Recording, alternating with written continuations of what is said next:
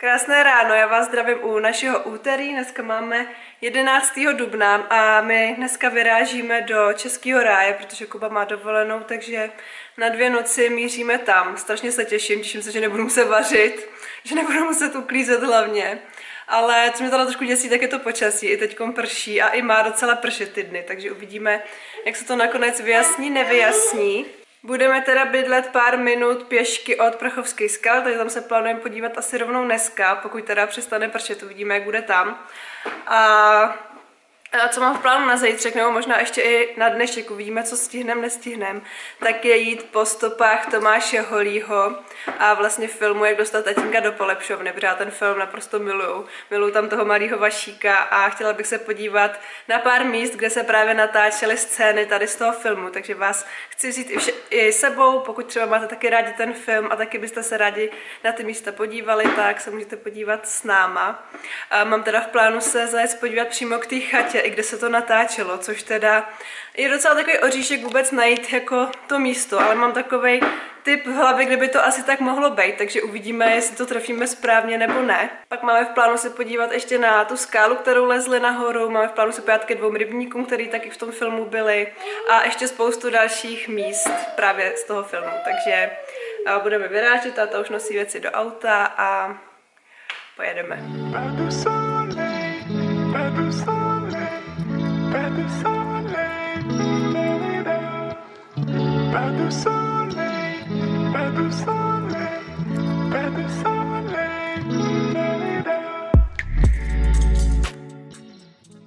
Už jsme dorazili na ubytování, teď už máme tři hodiny, už jsme teda i po obědě, jsme ubytovaný, tak vám to tady jenom tak rychle ukážu. Jinak bydlíme teda v, se to Park Hotel Skalní město, Kuba to kupoval na Slevomatu, dostala jsem to k narozkám, myslím.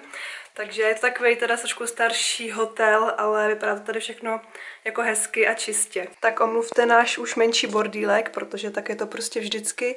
Tady je takhle šatní skříň. Je to teda taky úplně maličkatý, takhle rovnou postel, tam máme okno a potom je tady taková prťavá koupelnička, která je teda taková trošku novější. Záchod, umyvadlo a takhle sprchový kout. Takže pro nás ideální. A my teď vyrážíme do Prachovských skal, protože tady máme asi 14 minut pěšky, takže jdeme i bez kočárku a uděláme si takovou procházku, protože jsme pěkně napraný po obědě teďkon, takže se těším na ten častý vzduch a že se konečně projdeme i po té jízdě sem. jsme to měli asi nějaký necelý dvě hodiny autem, takže uh, hurá ven konečně.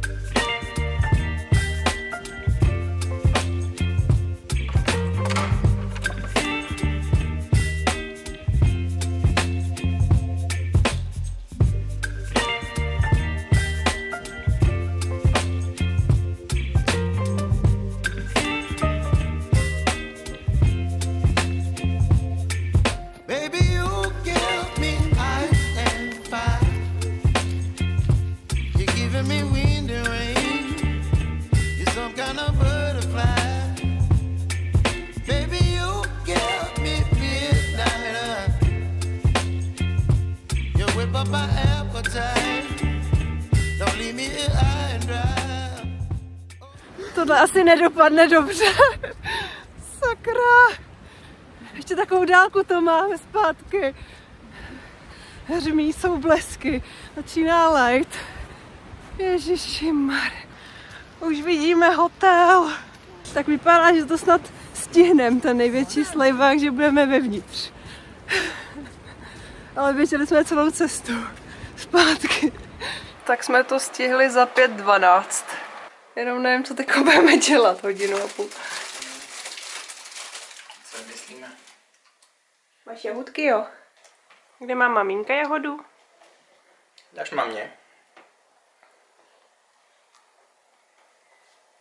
Děkuju.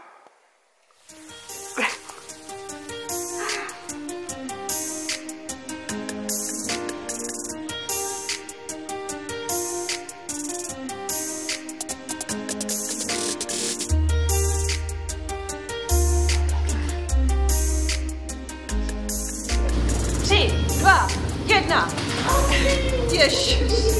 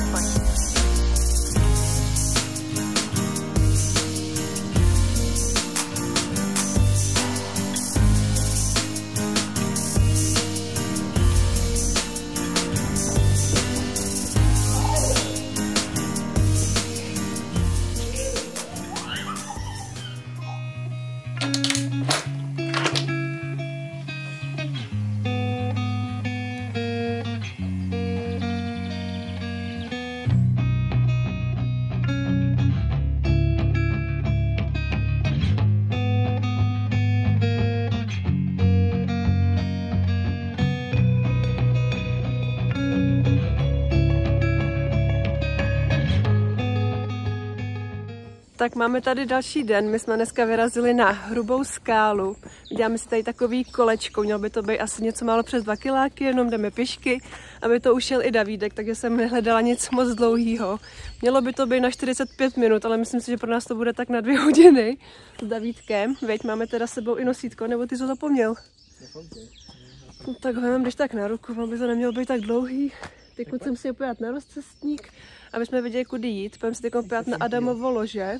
To je tady asi dolů teda rovnou. Kde se, myslím, natáčel Prince Baja. Já už jsem tady teda párkrát byla.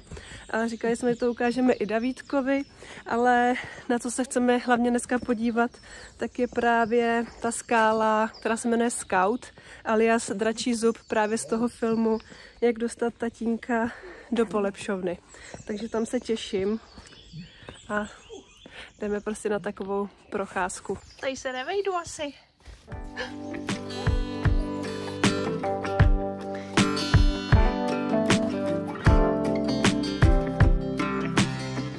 A jsme tady. Adamovo lože. Tady se natáčel princ Bajaja.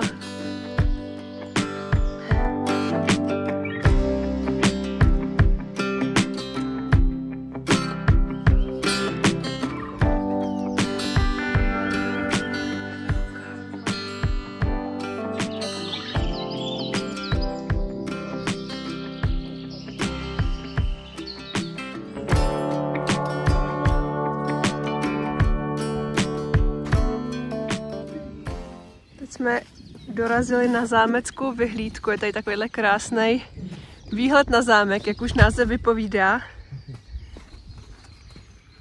Krásně nás svítí sluníčko, ono má teda svítit jenom tak do oběda, takže to maximálně snažíme užít. Když by svítilo ještě i odpoledne, uvidíme, hlavně když nebude pršet. A teď jsme vylezli na Mariánskou vyhlídku. To je teprve výhled.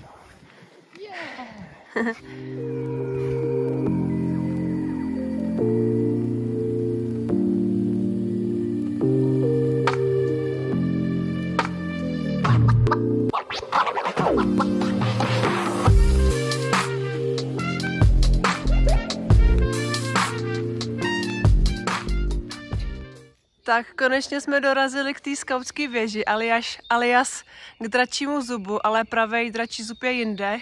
Každopádně ten filmový stojí tady přímo přede mnou. A jdu se teda podívat, kde lezli nahoru.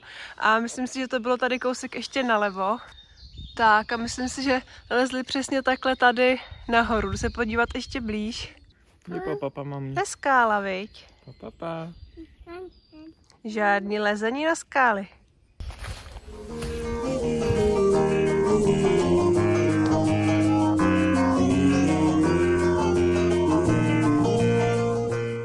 Tak a před tou skautskou věží jsme se dali doprava a jdeme se podívat ještě na hrubou skálu.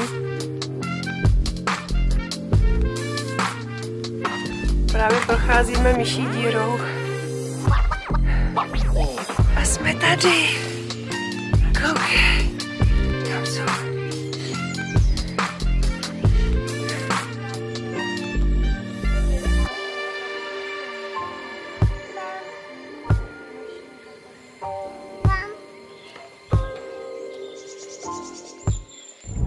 Tak teď přejíždíme přes Krčkovice k rybníku Věžák, kde se natáčela taková ta romantická scéna, kde ta maminka s tím tatínkem a potkají tam toho divočáka, takže tam je to krásný, tam jsou vlastně kolem toho rybníku taky ty skály, takže tam si děláme takovou procházku taky kolem toho.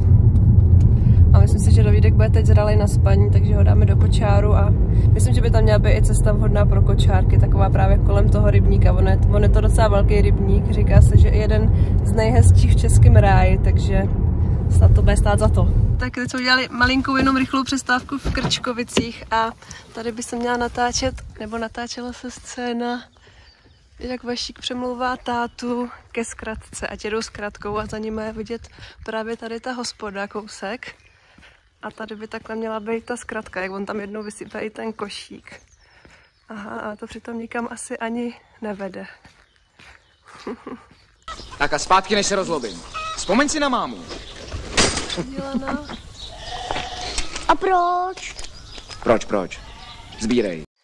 Tak dojeli jsme k rybníku Věžák a Davidek nám stihnul usnout, takže ho necháme spinkat a předáme ho do kočárku. Děláme mu spinkací pauzičku.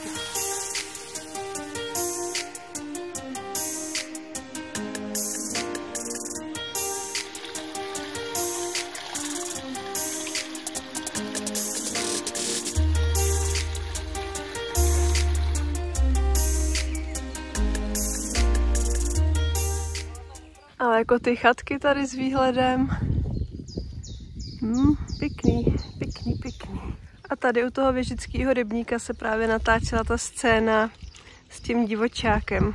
Všecko jsem pochopila. Ty vaše nákupy i ty mravence. Ty si prostě les na skály den co den. No, To je divočák! A, A co je úplně super, tak je, že je pořád sluníčko, což nechápu, protože mělo být zatažíno, ale jsme fakt šťastní, že je takhle nádherně.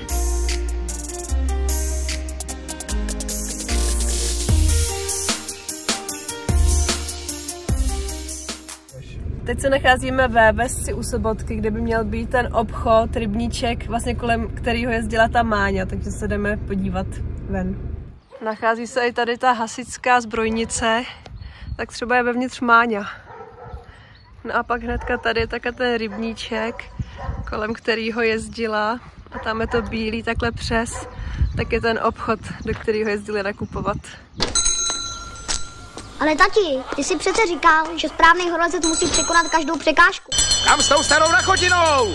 na ošetřovnu, aby nám zas Mája nechcípla uprostřed parády.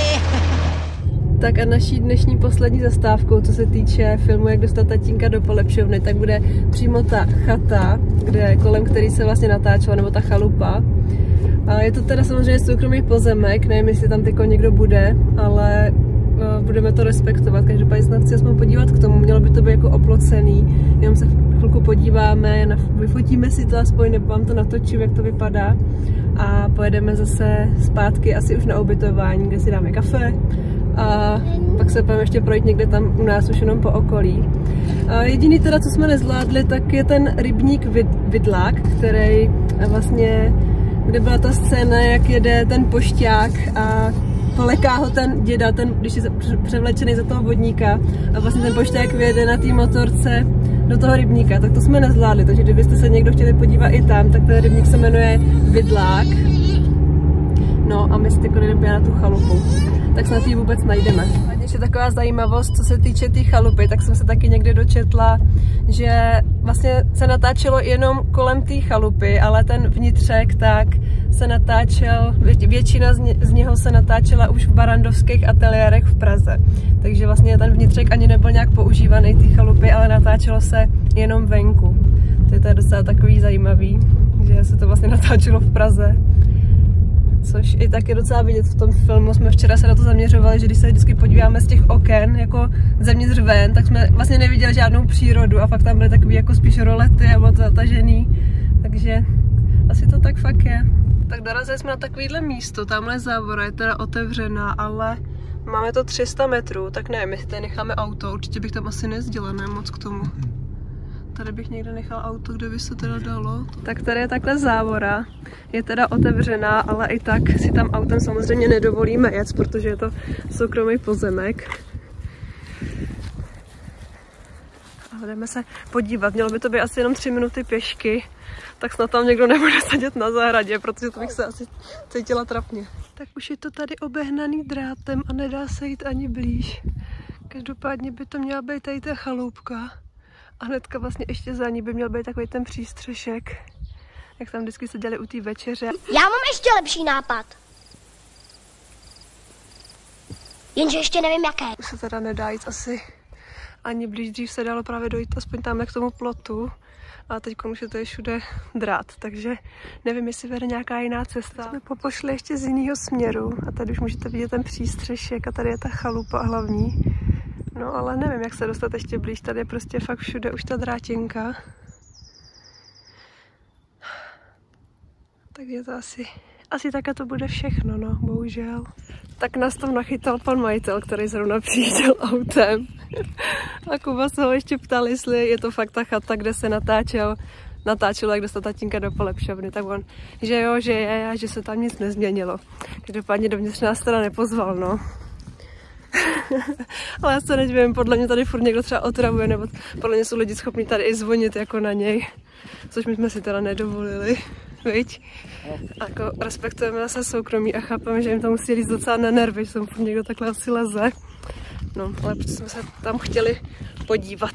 Každopádně toho je fakt moc vidět nebylo, protože všude kolem ty ta drátěnka, která tam teda asi spíš dřív, nejspíš dřív nebyla, protože ty fotky takhle od lidí jsou foceny z větší blízkosti ale teď už se tam prostě dá, jako k tomu jít nedá, pokud teda nejste vyloženě jako vlezlí a nevlezete přes tu drátěnku, což mi přijde už docela přes čáru. Takže my teď jdeme zpátky na ubytování, jdeme si trošku odpočinout, pak mám ještě na nějakou večerní prochajdu. Já si myslím, že Davidek toho má dneska nachozíno a schodu našlapáno jako na celý svůj život. Víď, Davidku? Taky spinkal docela dlouho. ale pořád nádherně, což nám dělá radost.